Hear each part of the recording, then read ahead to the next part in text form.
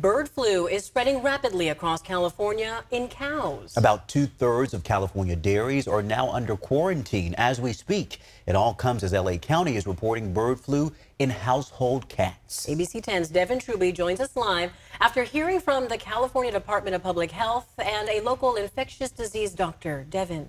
That's right, Laura. There is still no evidence of bird flu spreading from person to person in California or anywhere else for that matter meaning for now the risk to humans is still low. But there are cases that they aren't linked to contact with animals that's causing concern.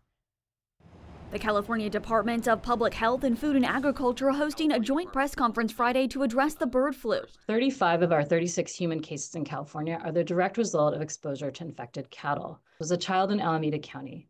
The child had no known animal exposures, and the source of this case is still unknown. It was also shared that two cats that contracted bird flu virus in LA County were from drinking raw milk. In California, there are 984 dairies with 1.7 million cows that get tested weekly now. The majority of the infected dairies are in the Central Valley.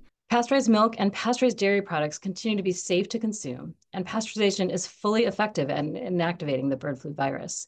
Eggs that you buy in a store are also safe. 16 labs across the state can test for bird flu. For animal testing, there are four sites run by UC Davis. The lab expressed concerns over a staffing crisis. This was addressed at the press conference. It's also part of a national lab network. So whenever um, we need surge capacity, we can access uh, multiple labs in other states. Currently, we're actually using five different labs uh, systems uh, for them in other states to, to meet our testing needs. While the threat to the public remains low, Dr. Dean Blumberg at UC Davis Children's Hospital explains the concern. If there is a mutation among these strains that allows it to more easily transmit person to person, then that would be um, very concerning and has the potential by causing a pandemic, for example. Dr. Blumberg says the telltale sign of bird flu versus regular flu is also having pink eye. Symptoms to look out for are the common flu symptoms. Getting your flu vaccine is a good idea. That'll help them from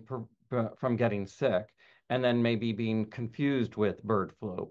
But the other reason is that we're concerned that if people have regular human influenza and then also get bird flu at the same time, that that can be the way that the virus can mix, can reassort and mutate and then um, be more easily transmitted person to person. Detection is key, and California has the largest wastewater testing system in the nation with 75 sites.